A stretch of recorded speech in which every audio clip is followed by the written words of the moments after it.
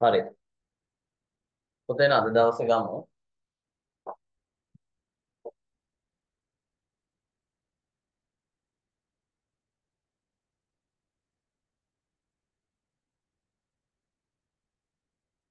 හරි. 2020 MCQ එකේ එකේ ඉඳලා 10 දක්වා MCQ ටික අපි අද දවසේ ඔක සාකච්ඡාවට ගමු. හරි නේද? හරි පුතේ එහෙනම් මම මේ මේක ස්ක්‍රීන් ෂෙයා දාන්න යන්නේ අවශ්‍ය නැහැ නේ පේපර් එක අලගේ අතේ තියෙනවනේ නේ. හරි. ආ ඔන්න ඉතින් අපි කරපු කොටස් ටිකක්ම යනවා. ඔව්. OS පාඩමේ කොටස් ටිකක් තියෙනවා. හරි. පළවෙනි එකේ අහනවා පරිගණකයක සකසනයේ වඩාත්ම වේගයෙන් මෙහෙයුම් ලබන්නේ එයට අවශ්‍ය දත්ත පහත කවරක් කවරක ඇති විටද කියලා. හරිද? ඒකනේ පුතේ මේ ප්‍රොසෙසරේ වේගෙන්ම වැඩ කරන්නේ ඒ දත්ත ටික මොහොක තියෙනකොට දහන. ඒ කියන්නේ මේ වියන්ගේ මොකද්ද මේ කියන්නේ? වැඩිම ප්‍රවේශ වේගය. දැන් පුතේ ඔයාලා නිතර අහන දෙයක් නේ. CPU එක හැමතිස්සෙම හරිද? CPU එක හැමතිස්සෙම බලන්නේ මොකද්ද? ප්‍රොසෙසරේ වේගවත් බව බලන්න. හරිද? එයා හැමතිස්සෙම මේ CPU එක වේගවත් වෙන්නේ එයාට ඕන කරන දත්ත ටික ඉක්මනට ලැබෙනවා නන්නේ. හරිද? එතකොට අපි බලන්න ඕන මේක ප්‍රොසෙසරේට නැත්තම් CPU එකට ළඟම කොහෙද තියෙන්නේ කියලා. ඒක බැලුවා නම් හරි. හරිද? එහෙනම් පළවෙනි ප්‍රශ්නේ කියන්නේ පරිගණකයක සකසනයේ වඩාත්ම වේගයෙන් මෙහෙම ලබන්නේට අවශ්‍ය දත්ත පහර පහත කවරක ඇති විටද ඔන්න අපිට ඊළඟ ප්‍රශ්නේ දෙකම එකතු කරලා අපි යන නිතර අදින සටහනම දාගමු. හරිද? CPU එක තියෙනවා. එයාට තමයි අපිට සකස් කරන්න ඕන කරන දත්ත උපදේශ ටික තියෙන්නේ. ඊට පස්සේ RAM එක තියෙනවා. ඒ අතරතුරේ තියෙනවා කෑෂ් එක. හරිද? කෑෂ් එක තියෙනවා. ඒකත් L1, L2, L3 කියලා කොටස් තුනක් තියෙනවා. ඊට පස්සේ මේ පැත්තේ ඉන්න ද්විතීකාචන කොටස් අපි දාමු hard disk එක කියලා. hard disk. ඔය අතර වාරේ තව කෙනෙක් ඉන්නවා. ROM එක කියලා එකකුත් තියෙනවානේ. හරි. ඕනේ පුතේ වෙන්නේ නේ. දැන් මේවා කොහොමද සම්බන්ධ වෙන්නේ කියන්නේ? CPU එකට යම් தත්ත්වයක් ඕන වෙනකොට ඉස්සෙල්ලාම බලන්නේ මොකද? ඔව්. ආ මේක ඇතුළේ පුතේ තව එකක් තියෙනවනේ. රෙජිස්ටර් මතකෙත් තියෙනවනේ නේ. ආ හරි. ඒතකොට රෙජිස්ටර්ස් වලින් තමයි ප්‍රධාන උපදෙස් ටික තියෙන්නේ. එතකොට ඉස්සෙල්ලම යම් දත් උපදේශක් ඕනාට පස්සේ ඉස්සෙල්ලම බලන්න L1 කෑෂ් එකේ තියෙනම් දුන්නා L2 එකේ බැලුවොම ඔහොම නේ දැන්. හරි. ওই සටහන අපි නිරන්තරයෙන් අඳින සටහන. දැන් මේකේ නැත්තම් hard එකකින් අරගෙන දුන්නු. එතකොට මේ හැම කෙනාම කෑෂ් එක හරහා තමයි දත්ත ටික CPU එකට දෙන්නේ නේ. හැබැයි මෙයා විතරක් මොකද්ද වෙන්නේ? ROM එක විතරක් CPU එක කෙලින්ම සම්බන්ධයි. හරිද? ROM එක විතරක් CPU එකත් එක්ක කෙලින්ම සම්බන්ධයි. පරිගණකේ බූට් කරන වෙලාවේ ROM එකේ තියෙන data කෙලින්ම ප්‍රොසෙසරේට යවලා එහෙමනේ වැඩ ගන්නනේ. හරි. එතකොට පුතේ ඔය ප්‍රාථමික ආචයනය සහ ද්විතීක ආචයනය කියලා තියරිය නැත්නම් ප්‍රාථමික මතකය ද්විතීක මතකය කියලා තියරිය හැදෙන්නේ තෝකෙන්. හරිද? ඒකත් කතා මතකද? හරි දැන් අපි ඉස්සෙල්ලා මේ ප්‍රශ්නෙට උත්තරේ දීලා ඉමුනේ. මම මේ සටහන ඇන්දේ පුතේ මේ අපේ මම කිව්වා මේ මේ සටහන අපිට ගොඩක් MCQ වලට වැදගත් කියලා. එතකොට මේ සටහන ඇන්දේ දැන් මේ සටහනෙන් තමයි පළවෙනි ප්‍රශ්නටත් උත්තර දෙන්න පුළුවන් දෙවෙනි එකටත් උත්තර දෙන්න පුළුවන්. හරි. එතකොට අපි ඉස්සෙල්ලා මේකට උත්තර දීලා ඉමු. එහෙනම් පුතේ නිහිත මතක කියන්නේ කෑෂ් එක. දුඩ තැටි අපෝ ගොඩක් දුරයිනේ. එයා දුර ඉන්නේ. චුම්බක පටික කියන්නේ පුතේ ඒ ද්විතීක ආචයනය. ඒව දුර ඒවා. ප්‍රධාන මතක කියන්නේ RAM එක. ප්‍රකාශ තැටි කියන්නේ එතකොට ඒ ඔක්කොම ද්විතීක ආචයන. එහෙනම් මෙතන දීලා තියෙන හරිද? හાર્ඩ් එක ඊළඟට ඔය ටේප් ඔය පුතේ ද්විතීක ආචයන ඔක්කොම ටික අයිති වෙන්නේ මෙන්න මේ කොටසට අයිති වෙන්නේ. ද්විතීක ආචයන එතකොට CD, DVD, pen drive ඔය ඔක්කොම ටික පුතේ ඔය කඩේෙන් එහා පැත්තේ. එතකොට ඒ කට්ටියට මෙයට දත්ත දෙන්න ගොඩක් වෙලා යනවා. හරිද? RAM එකක් තියෙනවා. RAM එකටත් හැබැයි වෙලාවක් නේ ඊට ළඟින් ඉන්න ඕනේ කෑෂ් එකනේ. මේක L1 නම නම් දීලා නැහැ. එහෙනම් උත්තරේ මොකක්ද? 1යි. හරිද? උත්තරේ පුතේ නිහිත මතකේ කෑෂ් එක තමයි මේකේ වඩාත්ම වේගෙන් මෙහෙවනවා කියලා කියන්නේ. දත්ත ඉක්මනට දෙන්නේ CPU එකට. හරිද? කෑෂ් එක නිහිත මතකේ උත්තරේ. හරි. පුතේ මේ සටහනත් ඉතින් අපි දාලා තියෙනවා. නමුත් ඉතින් අවශ්‍යම නම් විනාඩියක් දෙකක් දෙන්නම්. ටක් ගාලා සටහන දාලා තියාගන්න. හරිද? ඔක හොඳට මතක තියාගන්න අපිට ගොඩක් ප්‍රශ්න වලට පුතේ මේ උත්තරේ ගන්න වෙනවා. තව එකක් තිබුණා. මතකද ඔයාලට මේකේ අපි තව කතාවක් කිව්ව පුතේ. හරිද? මෙන්න මෙහෙම තියරියකුත් මේ සටහනත් එක්ක මම උගන්වලා තියෙනවා මතකද ඔයාලට? ඒ කියන්නේ මේ පැත්තට යන්න යන්න මොකද්ද වෙන්නේ? මම මෙහෙන් අදින්න. මේ පැත්තට යන්න යන්න මේකේ අඩු වැඩි වීම ටිකක් වෙනවා. එකක් තමයි access speed එක ප්‍රවේශ වේගය. ප්‍රවේශ වේගය වැඩි වෙනවා. ඒකද ඉක්මනට දත්ත දැන් දැන් ඒකනේ අහිමි ප්‍රශ්නේ. ඊළඟට ධාරිතාව ධාරිතාව අර මතක දුරාලිය වගේ තමයිනේ. හරිද? ධාරිතාව අඩු වෙනවා. මේ පැත්තට යන්න යන්න ඒවයි මතක ධාරිතාව අඩු වෙනවා. ඊට පස්සේ පිරිවැය වැඩි වෙනවා. හරිද? ඔහොම ඔහොම තමයි තියෙන්නේ. එහෙනම් ප්‍රධාන දේ මේක මේ පැත්තට යන්න ප්‍රවේශ වේගය වැඩි ධාරිතාව අඩු වෙනවා. හරිද? ඕන කරන සටහන් ටික ඉක්මනට දාන්න. ෆේස් හෑන්ඩ් එකක් දෙන්න වැඩ ටික ඉවර වෙලා. නම්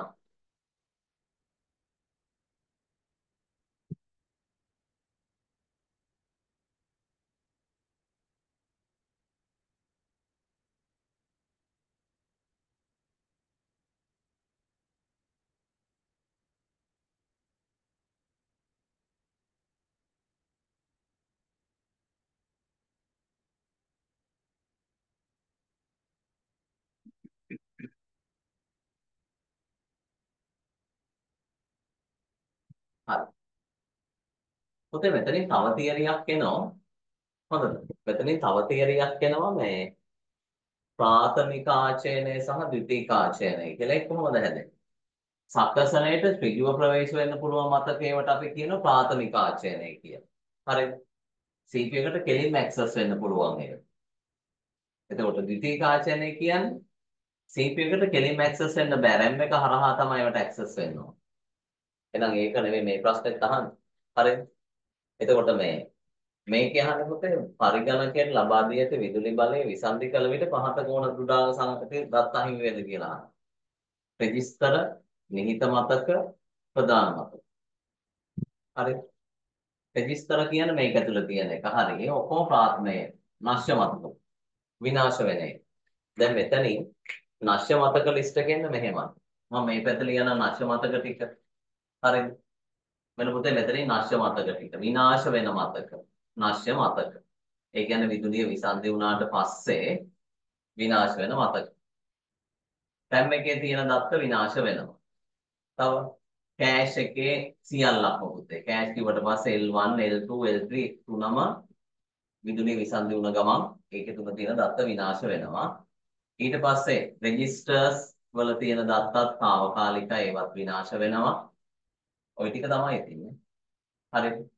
එහෙනම් ප්‍රධාන මතකය, කෑෂ් එක නිහිත මතකය, හරිද? රෙජිස්ටර් මතකේ මේ තුනම නැශ්‍ය මතක වලට අයිති වෙන්නේ. එතකොට පුතේ නැශ්‍ය නොවන මතක මොනවද? මෙන්න මෙතන තියෙන නැශ්‍ය නොවන මතක. නැශ්‍ය නොවන. නැශ්‍ය නොවන මතක ටික වෙන්නේ ROM එක විනාශ වෙන්නේ නැහැ. නිෂ්පාදන සමාගමේ දාන ස්ථිරාංගනේ මේක ඇතුලේ තියෙන්නේ ROM එක නැශ්‍ය නොවන එකක්. තව මොනවද? මේ ද්විතීක ආයතන ඔක්කොම ටිකේ. hard disk එක මේ රූපේ හැටියටනේ. hard disk එක ඉතින් අනිත් ඔක්කොම ටික පුතේ CD DVD අනම්මනම් ඔය දන්නවනේ. ওই සෙට් එකම නැශ්‍ය නොවන විදියට යනවා.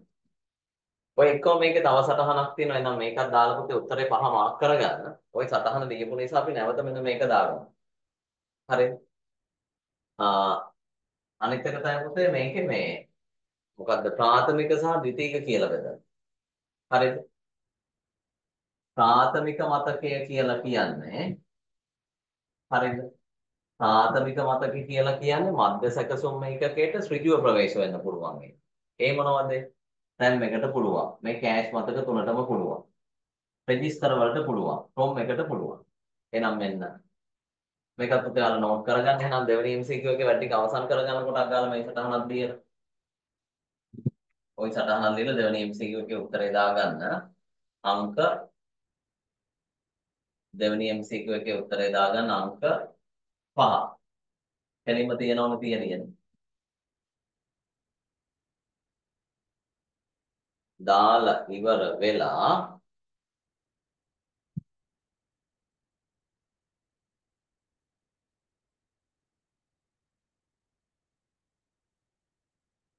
හරිද? ඊට පස්සේ පුතේ මෙන්න මේ විවරණ ලියන්න. ප්‍රාථමික මතකයේ කියලා ලියා ගන්නකො. ප්‍රාථමික මතකය. ප්‍රාථමික මතකය ලියමු මෙහෙම මධ්‍ය සැකසුම් ඒකකයට කෙටි කරලා ලියා ගන්න. මධ්‍ය සැකසුම් ඒකකයට ඍජුව ප්‍රවේශ විය හැකි මතකය වේ.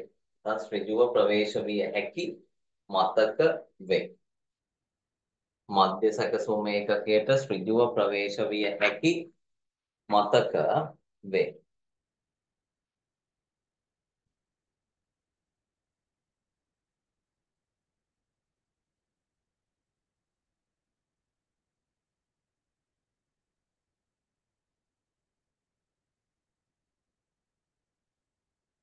මොනවද පුතේ? ලියන්න. රෙජිස්ටර් මතකයට කොහොමද පුළුවන් එතනම ඉන්න එක්කලානේ. ඒක ඇතුළේම ඉන්න එක්ක රෙජිස්ටර්ස්. ඊළඟට කෑෂ් වල වර්ග කෑෂ් වලට වර්ග තුනම අයිති හම්බ. ඊට පස්සේ RAM එකක් පුළුවන් ප්‍රධාන මතකේ RAM. ROM එකත් අයිති. අන්න බලන්න. එයා නැෂ නොවන මතකයක් නමුත් එයයිට පුළුවන් මේ RAM එක මේව නැතුව කෙලින්ම සම්බන්ධ වෙන්න. මම ඔයාලට මේක කිව්ව මතකද ඔය ප්‍රාථමික ද්විතීක එක අර කැමති කෙනෙක් හම්බෙනවා නන්නේ. මොකක් හරි ඔය කතා මතකද? කෙලින්ම ඇමතිත් එක්ක සම්බන්ධ වෙන්න පුළුවන් ඒවා තමයි ප්‍රාථමික මතකේ වගේ. වෙන කෙනෙක් කරහා ඒ වගේ ප්‍රභූවරයෙක් හම්බෙනවා නම් ඒක ද්විතීක මතකේ දැන් මෙතනින් එහා පැත්තේ ඉන්න කටයුතු RAM එකේ සහයෝගයක් නැතුව බෑ CPU එකට සම්බන්ධ. RAM එක හරහා තමයි සම්බන්ධ වෙන්නේ. අන්න ඒ කට්ටිය අපි කියනවා ද්විතීක මතකය කියලා. එතකොට ද්විතීක මතකය කියන්නේ මධ්‍ය සැකසුම් ඒකකයට ඍජුව ප්‍රවේශ විය නොහැකි මතක. හරිද? ද්විතීක මතකයේ ප්‍රාථමික ද්විතීක කියලා කියනවා. මධ්‍ය සැකසුම් ඒකකයට ඍජුව ප්‍රවේශ විය නොහැකි මතක තමයි අපි කියන්නේ ද්විතීක මතක කියලා. ඒවට ඉතින් හાર્ඩ් ඩිස්ක් අර සෙට් එකේ ඒ විදිහටම යනවා. හරිද පුතේ? ඔන්න එහෙනම් මුල් MCQ දෙකට අදාළව අපි මේ පැත්තේ යන කොටස් ගොඩක් කතා කරලා දැන්. හරිද? අපි එමු එහෙනම් තුන්වෙනි ප්‍රශ්නෙට. වැඩ ටික අවසන්ද? තුන්වෙනි ප්‍රශ්නයටයි එන්න හදන්නේ.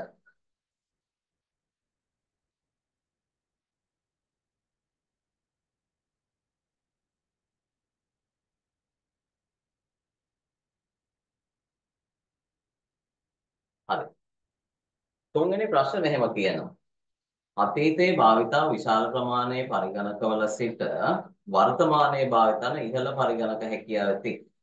පරිගණන හැකියාව සිට කුඩා සුකුරු ස්මාර්ට් උපක්‍රම දක්වා පරිගණකයේ පරිණාමය වී ඇත. පහත කුමන නිපැයුමක් පරිගණකවල භෞතික ප්‍රමාණයකට දායක වූද කියලා. හරි. බසය ඔය බසය කියන්නේ මම ඔක වෙනම කියලා දෙන්නම්. හරිද? අපි කියන ඔය පුතේ වශයක් කියන්නේ දත්ත සම්ප්‍රේෂණය සම්ප්‍රේෂණ මාර්ගය. මේ පරිපත ඇතුලේ දත්ත හරි උපදෙස් හරි හරිද සිග්නල්ස් හරි සම්ප්‍රේෂණය කරන්න පුළුවන් මාර්ග වලට අපි කියන්නේ බසයක් කියලා. Bus data bus, address bus, control bus ඔහොම අපි අර තියරි එකක් ඉගෙන ගත්තා නේද?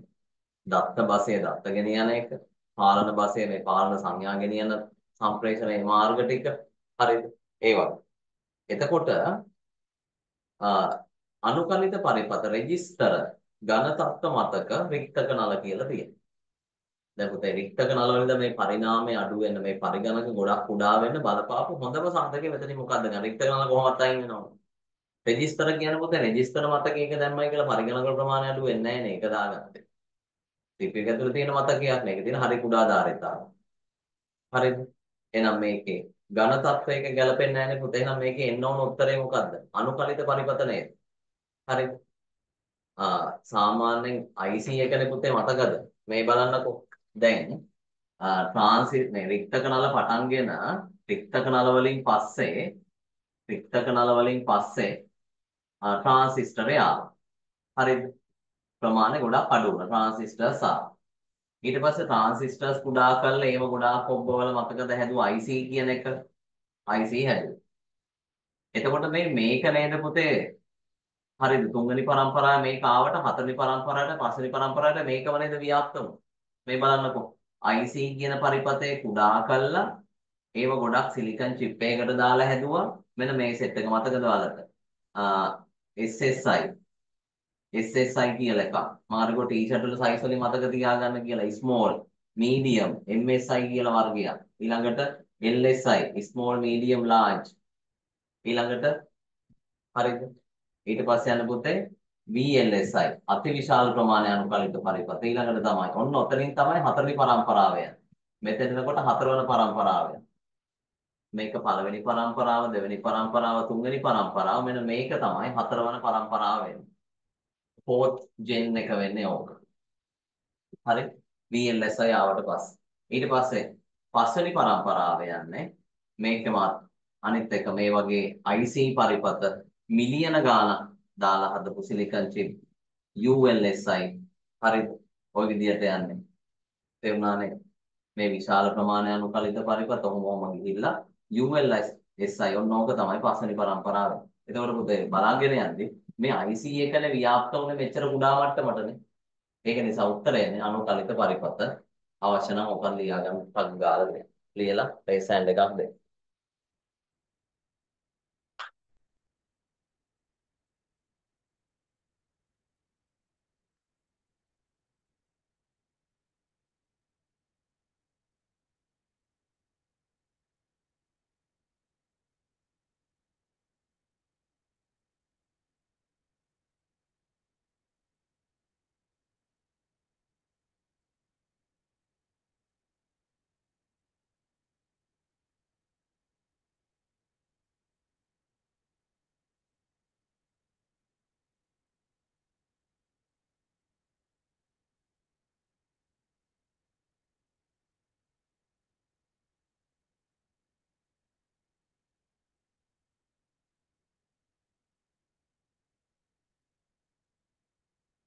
හරිද?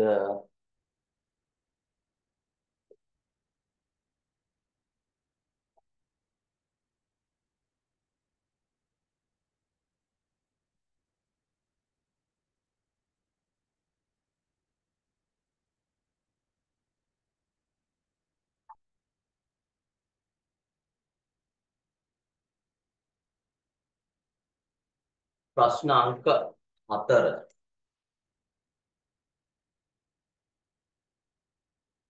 හරි පුතේ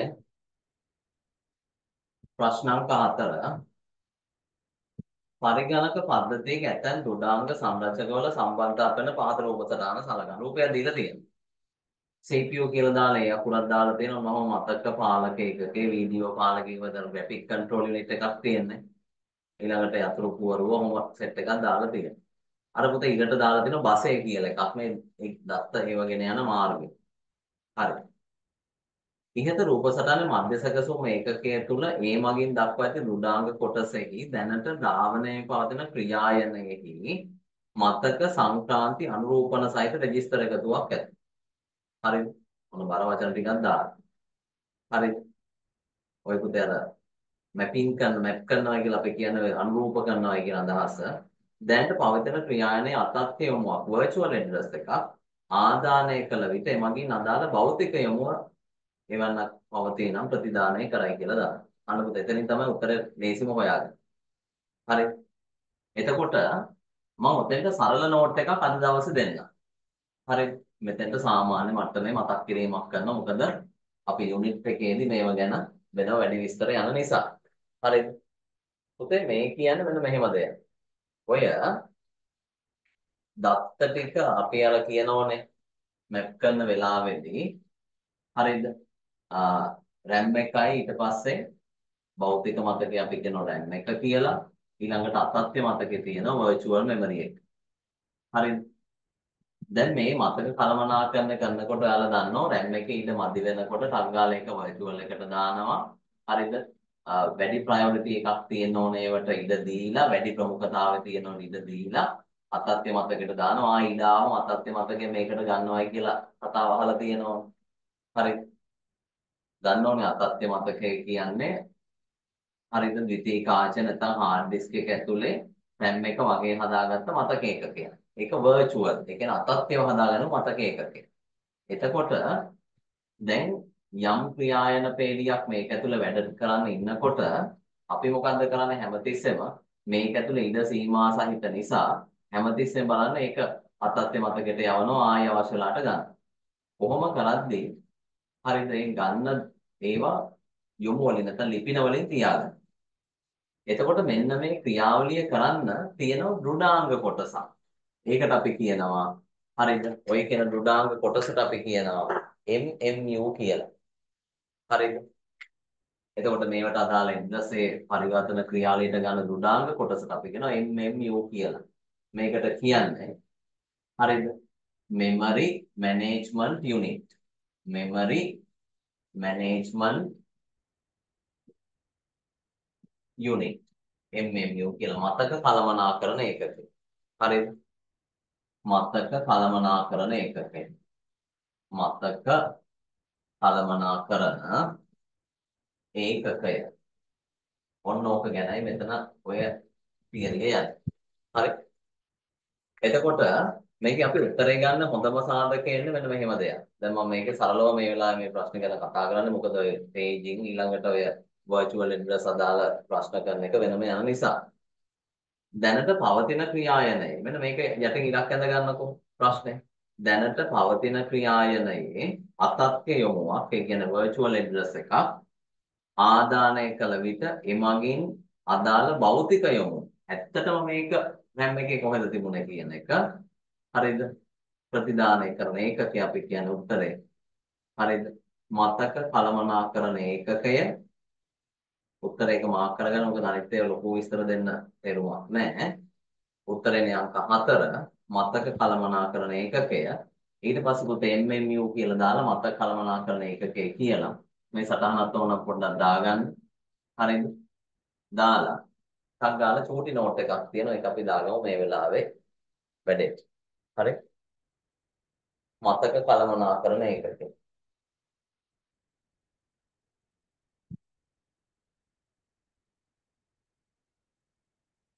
ප්‍රශ්නයක් පුතේ ඒක කියවෙනවා ඉතින් කමක් නැහැ. මේ මන් ලියන්න. අතත්්‍ය මතක ලිපියමුවක්. අතත්්‍ය මතක ලිපියමුවක්.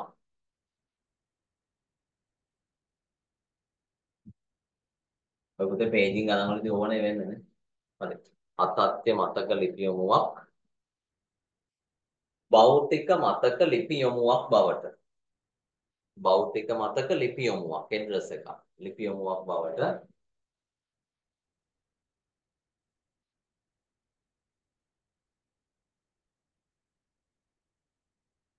අනුරූපණය. අනුරූපණය. ප්‍රශ්නෙත් ඔක තමයි කියන්නේ අනුරූපණය. වරහන් ඇතුලේ මැප් කියලා දාගන්න. MAP. මැප් මැපින් කියලා කියනවා මැප් අනුරූපණය. කිරීමේ අනුරූපණය කිරීමේ දෘඩාංගයකි. අනුරූපණය කිරීමේ දෘඩාංගය. මේක හાર્ඩ්වෙයාර් එකක්. පරිපත කොටසක්. අනුරූපණය කිරීමේ දෘඩාංගයකි. හරි. ඒක සම්බන්ධව අපි ටිකක් වැඩිපුර කතා කරන නිසා මම මේ වෙලාවේ එකට ගන්නෙ නෑ. අපි එනවා ඊළඟ MCQ එකට. හරිද? අපි එනවා ඊළඟ MCQ එක.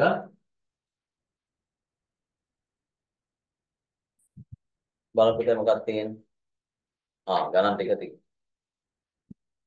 P සමානයි ආ දැන් ඔයාලා මට කලින් හදන්න ඔය එකම. පස්වෙනි MCQ එක. හරිද? P සමානයිලු 1.11 බිංදු 3යි 1. Q සමානයිලු බිංදුවයි 1යි බිංදු 2යි එක ඒවා ආ පොඩ්ඩක් වැඩිපුර එතනදී. ඉතින් බලන්න පළවෙනි එකේ ගාන තියෙන බිට්ටු තියෙන ඔක්කොම 8යි දෙවෙනි එක 2යි 4යි ආයෙත් 8යි. 1යි බිංදුවයි 1යි 1යි ආ මෙන්න මෙතන අඩුව. බිංදු 3යි 1 මේකේ තියෙන්නේ බිංදුවයි එකේව 3යි බිංදු. කොහොමද තියෙන්නේ? හරි යන ද්විමේය සංඛ්‍යා දෙක සලකන්න x කියන එක කියනවා x කියන්නේ POQ පිටු අනුසාරිත කර්ම. හරිද? x කියන්නේ POQ. එහෙනම් අපි O කර්මය දාලා බලමු මේ දෙකට. මේ දෙකට අපි O එක දානවා. එකක් හරි එක නම් උත්තර එකයි නේ. එහෙනම් එකේ පොලිමක් වෙන්නේ x. ආ එතකොට y කියන්නේ P and Q. y කියන්නේ P and Q. ඒ කියන්නේ මොකක්ද? ඔව් n එකේ මේ දෙකේ එකක් හරි බිඳුව නම් උත්තරේ බිඳුව. හරි? එකක් හරි බිඳුව නම් උත්තරේ බිඳුව. උත් ඒ කියන්නේ බිඳු පොලිමක් නේ. හරිද? එකේ පොලිමයි බිඳු පොලිමයි නේද? එකේ දෙකක් ඕන. නම් x හා y යගයන් පිළිවෙලින් කවරක්ද කියලා. හරි ලේසි. පිටු අනුසාරිත කරනවා මේ උත්තර දෙක ආපු එක තෝරන්න. හරිද? දැන් හොඳට බලන්න ඔය වගේ අනුපත කියනවා දැන්. ඔය වගේ දීනවනේ මෙහෙම දුන්නත් බලන්නකෝ. Y සහ x පිළිතුර පිළිවෙලින් කියලා දානවා. අනිත් පැත්ත ගහලා y සහ y තමයි ඉස්සෙල්ලා අහන්නේ. සමහරවල් දැන් මේක නම් අහලා තියෙන xy කියලා. එහෙනම් x සහ y යගයන් පිළිවෙලින් අහන්නේ. එකේ පොලිම බිඳු පොලිම උත්තරේනේ අංක 4නේ. උත්තරේ අංක 4. මම ඔහොමම යනවා 6 වෙනි MCQ එක කතා කරන්න. MCQ අංක 6. දශමයේ ඍණ 12 දෙකේ අනුපූරකය අහන්න. පිටු වටෙන් දීලා තියෙන උත්තර ටික. එහෙනම් ඉස්සෙල්ලා අපි කරන්නේ මොකද්ද? ධන 12 පිටු වටෙන් ලියනවා. උත්තරෙන් 1 2 2 මදි පාඩුවට පිටු හතරක් ඉස්සරහට දාගන්නවා. මේක වන්ස් කම්ප්ලිමන්ට් දානවා. පිටු ටිකේ අනුපූරකය ගත්තා. දෙකේ අනුපූරකය දානවා කියන අගට එකක් එකතු කරන එක. ඔන්න අපි සුළු කර 1 1 බිඳුවයි පිටුවක් යන නැවත 1 1 බිඳුවයි පිටුවක් ගියා. එක මෙතෙන්ට ආවා. ওই විදිහට යනවා. මේ ආවේ ඍණ 12 දෙකේ අනුපූරකගේ 1 4යි බිඳුවයි 1යි බිඳු 2 උත්තරය අංක 4 නේද? එහෙනම් පුතේ මේකට MCQ එකට උත්තරය අංක 4. මේකට ආවෙත් 4 නේ. දෙකටම 4 නේද?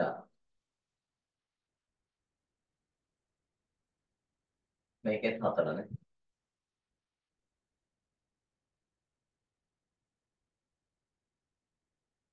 හරි. 7 සහ 8 ප්‍රශ්න අහන්නෙත් ඕකෙම තමයි. 7 වෙනි ප්‍රශ්නේ සහ 8 වෙනි ප්‍රශ්නේ අහන්නෙත් මේ කොටසෙන්ම තමයි නේ.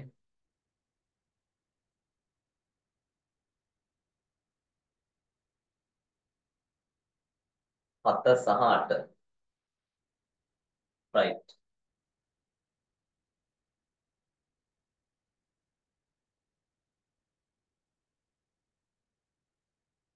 බලමු MCQ අංක 7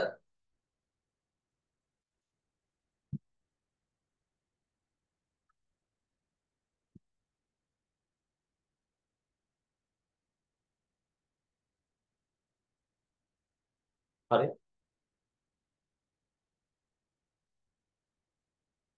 මේක කියනවා මෙහෙම කතාවක්. දෙකෙහි අනුපූරකයේ සම්බන්ධයෙන් පහත කවරක් සත්‍ය වේද කියලා අහන්න. දෙකෙහි අනුපූරකයේ සම්බන්ධයෙන් පහත කවරක් සත්‍ය වේද කියලා අහන්න. ලකුණ නිරූපණය කිරීමට අමතර පිටුවක් භාවිතා කරේ. පුතේ ඒක මොකටද ගන්නේ? ලකුණ පෙන්වන්න අමතර පිටුවක් ගන්න මොන ආ මෙන්න මෙහෙමයි. මේ ඉතින් විතර මතක් කරපු දේවල්. නමුත් ඉතින් මම මේ වෙලාවේ නැවතත් මතක් කරනවායි. හරිද? පොතේ මේ පරිගණකයක් ඇතුළේ ඍණ සංඛ්‍යා පෙන්වන්න ගන්න ප්‍රධාන ක්‍රම තුන මතක් කරන්න දැන් මාත් එක්ක. එකක් තමයි ලකුණු වත් නිරූපණය sin magnitude කියන. මතකයිනේ නේ? ලකුණු වත් නිරූපණය. හරි. දෙක එකෙහි අනුපූරකය තුන්වෙනි එක දෙකේ අනුපූරකය. මතකයි. මේකෙදි මොකද්ද කරේ? බිටු 7යි ලකුණ පෙන්නන්න නැත්නම් සයින් එක සයින් බිට් එකට එකක් වෙන් කර. ඒකත් මතකද ඔයාලට ඒක කොහොමද වෙන් කරේ? බිඳුව නම් නැත්නම් ධන සංඛ්‍යාවක් නම් බිඳුව දැම්ම ඍණ සංඛ්‍යාවක් නම් එක දැම්ම නේ මුලට. හරි මතකයි නේද? දැන් ඔන්න ආයි මතක් වෙන්න ඕන නම් මෙහෙම දාගන්න. ධන 10 ලියන්නේ 10යි 10 නේ පුතේ 10 බයිනරි එකනේ. එතකොට මුලට දැම්ම බිඳු තව 3ක්. පිටු ඔක්කොම 7යි. ධන නම් තව බිඳුවක් දාන්න. එහෙනම් මේක තමයි සයින් බිට් එක වෙන මම කොටු කරපු එක. හරි? එතකොට ඍණ 10 ලියන්නේ කොහොමද? ඍණ 10ත් පුතේ අර විදිහටම ලියුවා 10 ලියලා බිංදු තුන මුලට දැම්මා. ඍණ නිසා එක දානවා මුලට. මතකයිද? ඔන්න ඕකට අපි කිව්වා සයින් බිට් නැත්නම් සයින් මැග්නටික් වල ලකුණුවත් නිරූපණය කියලා. එහෙනම් ලකුණ නිරූපණය කරන්න අමතර පිටුවක් පාවිච්චි කරන්නේ ලකුණුවත් නිරූපණය. එහෙනම් පළවෙනි එක වැරදි. ඒක දෙක යන පුර කතාවක්. අංක ගණිත මෙහෙයුම ඉටු කිරීම සඳහා වඩා වේගවත් මිලාඩු දෘඩාංග නිපදවීමට ඉවහල් වේ. පොඩ්ඩක් යමු බලන්න. එකතු කිරීම සහ අඩු කිරීම එකිනෙකට වෙනස් මෙහෙයුම් දෙකක් ලෙස සිදු කර නෑනේ පුතේ. බලන්න ගණන් කොච්චර හැදුවද නේ? එකතු කිරීම අඩු කිරීම එක විදිහට නේද හැදුවේ. මතකයිනේ? අඩු කිරීම මේ දෙකේ අනුපූරක අඩු කිරීම එකතු කිරීම වරගෙන හැදුවද නෑනේ? 12 එකතු කිරීම ඍණ 17 තියෙනම් අපි මේ අඩු කිරීමත් එකතු කිරීමක් විදිහට නේද හැදුවේ. දැන් අපිට ගාන දුන්නොත් 12 අඩු කිරීම 17 අපි ඔක හදන්නේ මෙහෙම. එකතු කිරීමක් විදිහට අඩු කිරීමක් හැදුවේ. එහෙනම් තුන්වෙනි උත්තරේ වැරදි. සාමාන්‍ය ෂඩ්දශම සංඛ්‍යා පද්ධතිය මගින් නිරූපණය කරනවා. නෑ පුතේ. එහෙම කතාවක් කොහෙවත් කිව්වේ නෑ. හරි. දෙක අනුපූරක නිරූපණය කරන්න එහෙම ගන්නවා. ඒක දශමයේ දීම වලට පෙන්වන්න පුළුවන්. තාර්කික මෙහෙයුම් සිදු කෙරෙදා පළමු පරම්පරාවේ පරිගණකවල භාවිතාව. නෑ නෑ ඕක පුතේ. දෙක අනුපූරකයේ යන්නේ මේ වර්තමාන පරිගණකවලනේ. එහෙනම් උත්තරේ මොකක්ද දෙන්නේ? ඕක පාඩම් කරගන්න උත්තරේ. අංක ගණිත මෙහෙම ඉටු කරන්න වඩා වේගවත් මිලාඩු දුඩාංග නිපදවන්න ඉවහල් වෙනවා කියලා ඒක හයිලයිට් කරලම තියාගන්න. අන්න ඕක. හරිද? දෙකේ අනුපූරකයේ තියෙන ප්‍රධාන ලක්ෂණය. හරි. එහෙනම් උත්තරේ 7ට 2. පුතේ 8 වෙනි ප්‍රශ්නේ නිකන් දැක්කම බය වෙනවා බලන්න දෙයක් නැහැ. ඕක එන්නේ මොකද්ද? හරිද? ඔය සිංහල අකුරු ඒවා දෙමළ අකුරු වලට chance එක ආවේ මොකකින්ද? එහෙම කියන්න පුළුවන් උත්තරේ හරිය අඩු තර්කයකින්. හරිද? සිංහල දෙමළ අකුරු ලියන්න ප්‍රධාන chance එක ආවේ යුනිකේත වලින්. එතකොට වගු එක වගු දෙක දෙකම අයිති වෙන්නේ වගු එක සහ දෙකම යුනිකේතේන කියලා එන්නේ උත්තරේ. දෙක. අටට උත්තරේ දෙක මම නිකම්ම කියලා දුන්නා. අටවෙනි ප්‍රශ්නට උත්තරේ එන්නේ දෙක. නවවෙනි ප්‍රශ්නයටත් එන්න බැලුවේ. හරිද? නවවෙනි ප්‍රශ්නයටත් එන්න බැලුවේ. ප්‍රශ්න අංක 9. A B ගේ බා C ගේ බා දන්න. B C ගේ බා දන්න. A ගේ බා B ගේ බා C දන්න BC තමයි අහලා තියෙන්නේ. යන ප්‍රකාශයට තුලන වඩාත්ම සුළු කරන ලද ප්‍රකාශන කියලා අහන්නේ.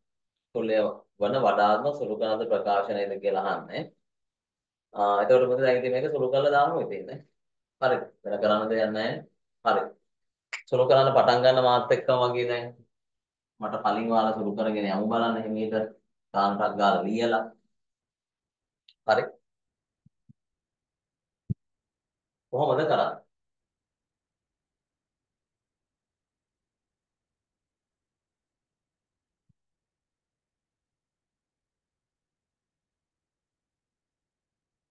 පුතේ මේකේ මේ මේකයි මේකයි ගත්තොත් පුතේ කෙලින්ම සීදන සීගබා බී පිටතට අරගෙන එහෙම හදන්න පුළුවන් නේ. හරි. ඊට පස්සේ වෙන ක්‍රමයක් බලන්නකො මොකද?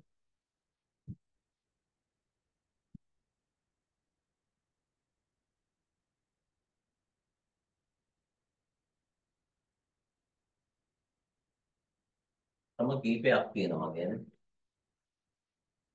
හරි.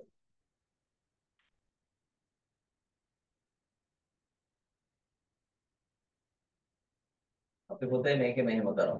සුළු කිරීම කීපයක් පේනවා. අපි මේකේ ගමු මෙන්න මෙතෙන්ට අපිට තදේ සම්ප්‍රතිනික්තතා දාගන්න පුළුවන්. දැන් මෙහෙමත් බලන්න දැන් මේකයි මේකයි පුතේ B පිළිතුරේ සීදන සීගේ බාහිර B උත්තර එනවනේ ඊට පස්සේ මේ දෙකේ පොදු පද එළියට ගන්න විදියක් නැහැ නේද? හරි. ඔව් ඒක නිසා අපි මෙහෙම කරමු.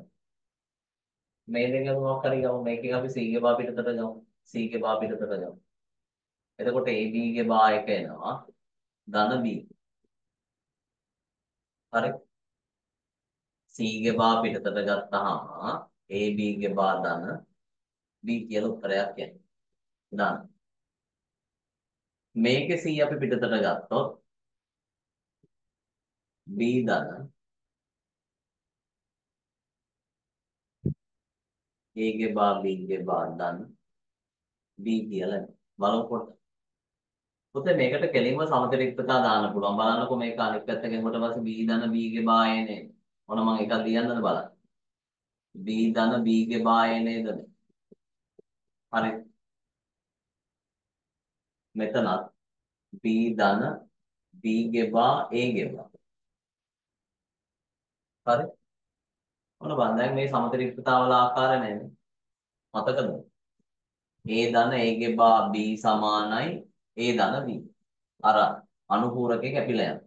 කොහොම නෙවෙන්නේ එහෙනම් මෙතන මොකද්ද වෙන්නේ? අනුපූරක කැපිලා ගියා. C ගේ බා වරහන B ධන A වෙනවා. නැත්නම් A ධන B. මෙතනත් හරි මේ අනුපූරක කැපිලා ගිහිල්ලා B ධන A ගේ බා වෙනවා මේ දැන් මේ අපි අවස්ථා දෙකක්ම දැන් මේ සමතරික්තතා දැන් බලමු මේක ළඟින් උත්තරයක් තියෙද කියලා.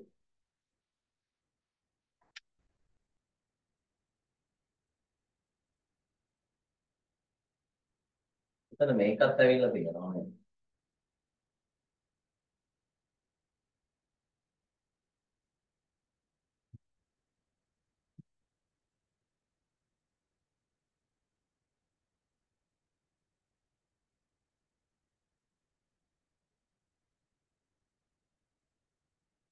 තව සුළු කිරීමක් එනවද බලන්න.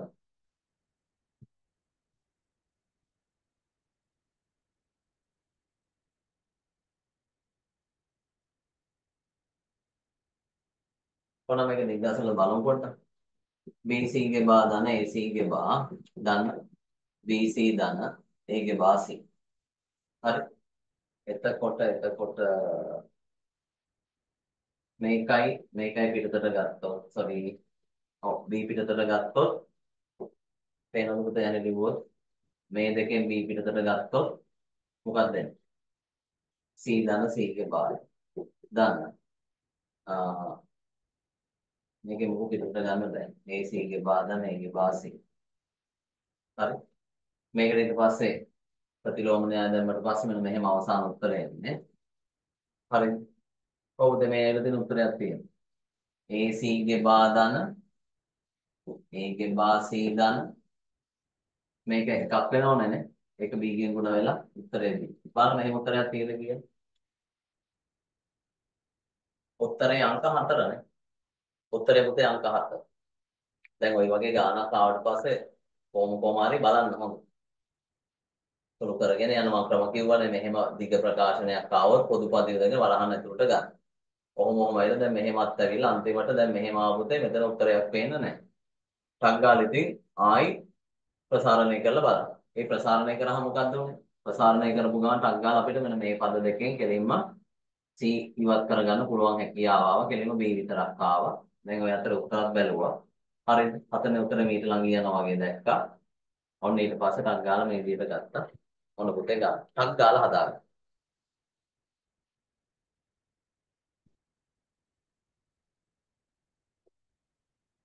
තව එක ප්‍රශ්නයක් උත්තර ඔන්න අපිට ටිකක් කාල වේලා මොකද අපි MCQ 650ක් සාකච්ඡා කරන ප්‍රොජෙක්ට් එකක නෙමෙයි ඉන්නේ නේ.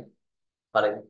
ඉතින් ඒක නිසා මේ මේ විදියට පොඩ්ඩක් පොඩි වෙලාවක් හරි කැප කරලා මේ පේපර් ටික එමෙ එමෙට ඉවර කරමු. එතකොට පොතේ අපිට මේක වාසියක් මේ වෙලාව විතර කරගෙන. හරි. ගාන මොකද ඩවුට් එකක් තියෙද නැහැනේ පොතේ? හදාගන්න බලන්න ටක් ගාලා. හදලා ඉවර වෙලා දෙන්න බලන්න රේස් හෑන්ඩ් එකක්. තව එක MCQ එක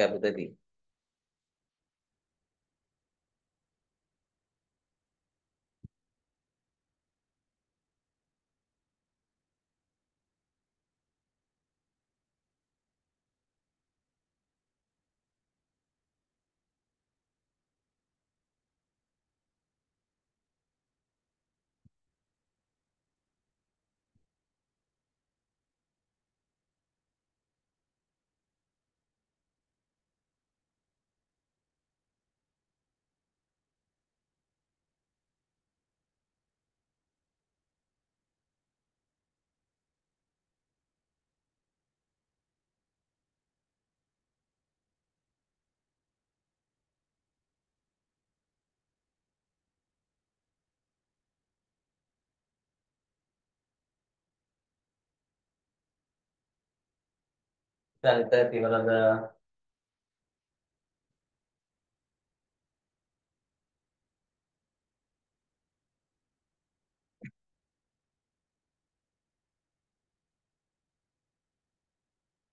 ඉවරයි දැන් අන්තිම ප්‍රශ්නෙත් බලන්න. 10 වෙනි MCQ එක.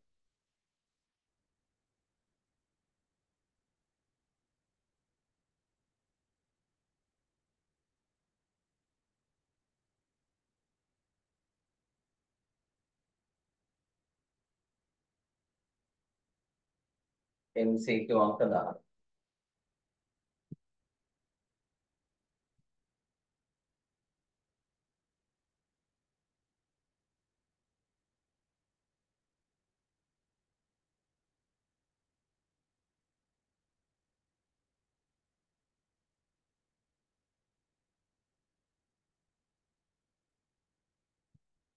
හරිද?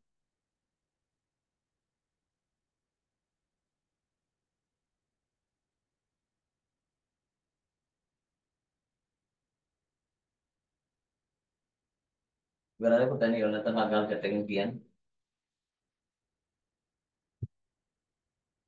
ඒ ගාන නැවත තනියෙන් හදන්න උත්සාහ ගන්න අනිවාර්යෙන්ම. හොඳද? ඒ ගාන ඔහොම ඔයාලා තනියෙන් හදන්න පස්සේ වෙලාවක. එතකොට ඒක ෂුවර්නේ වැඩේනේ. ඒවා හදලා ප්‍රැක්ටිස් වෙන්න. හොඳ ගානක් ඒක. හරි.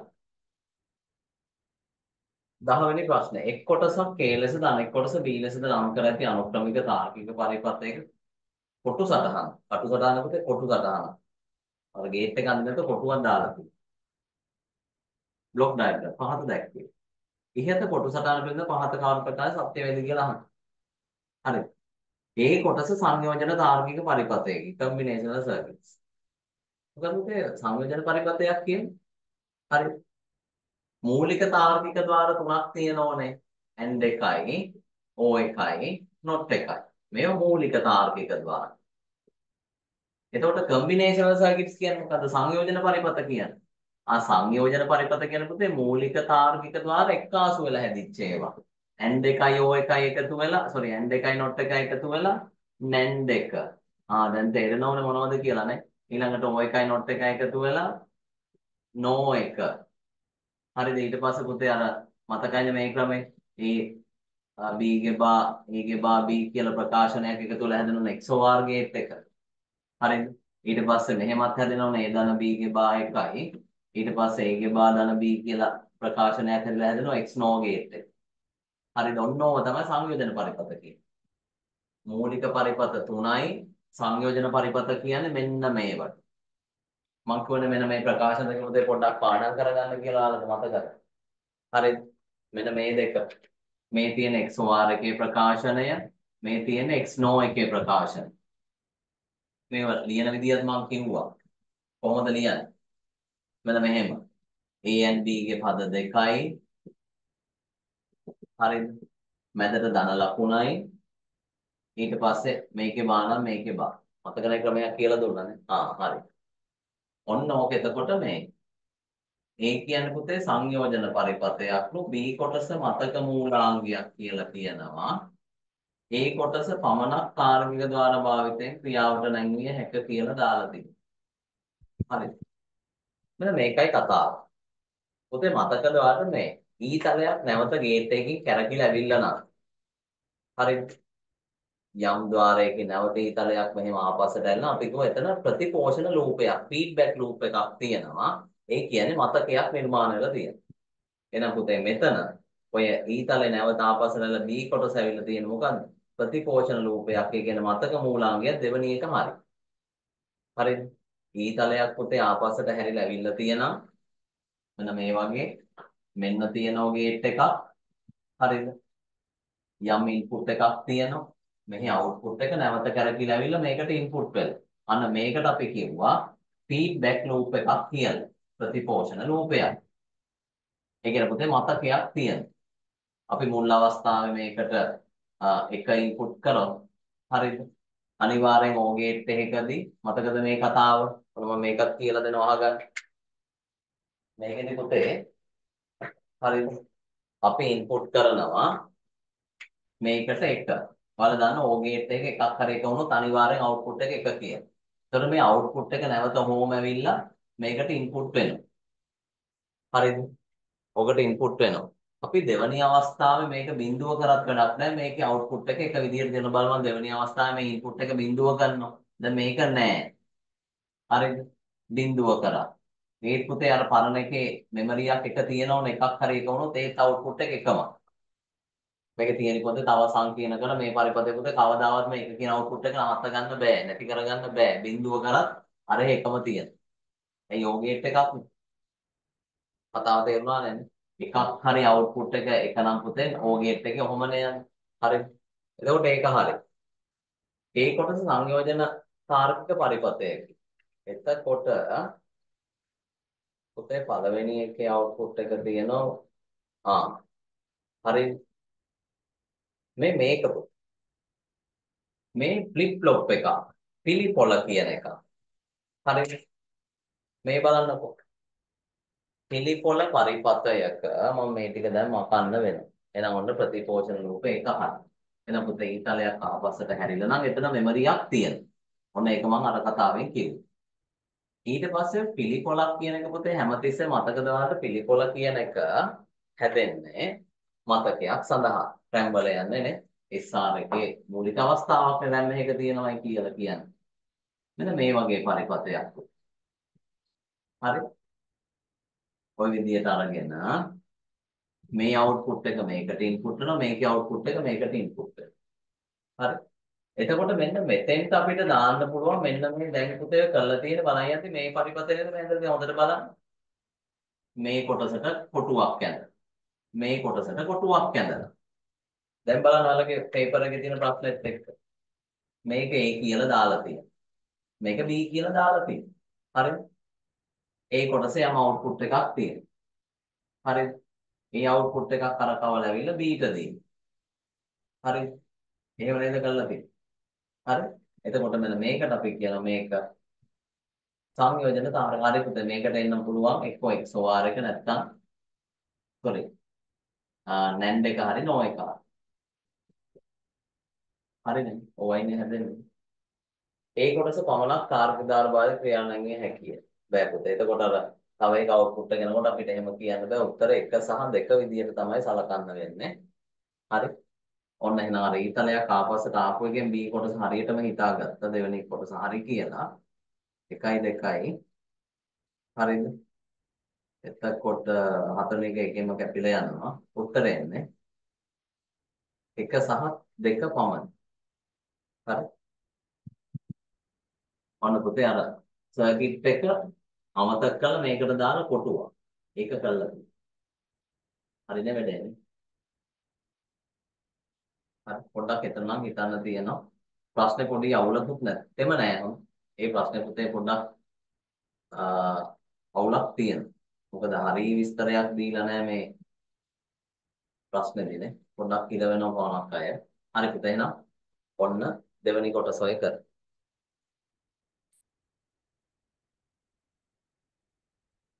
දෙදස් විස්ස අවුරුද්දේ මුල් MCQ 10 ඔය කතා කරේ පුතේ අද දවසේ හරිද? මොන අපිට එතකොට මේ සාමාන්‍ය පන්ති වෙලාවත් ඉදිරි කරගන්න පුළුවන් නේ. හරිද? ආ එතකොට ඔය විදිහට දාගමු